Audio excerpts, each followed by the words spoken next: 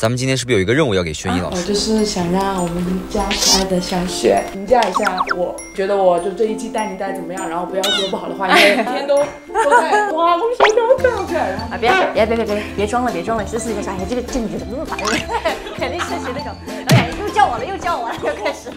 呃，其实我觉得啊，他是一个特别的存在，为什么呢？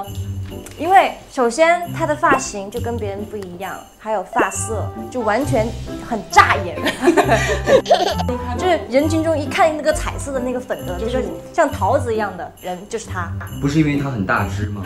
没有啊，就是呃，有他的特点，特别的可爱，就跟一个小桃子一样。你看，跟他的发型是一样的。对，对。然后这段时间辛苦你了，我这么的呃事儿，这么的事儿。超可爱哦。然后就是有很多事情都是他来照顾我的，所以呢，有些事情我不太多说，但是呢，呃，在这里的话，既然已经 Q 出来了，那我就还是要抱抱我们的短班，对，谢谢你照顾我，对。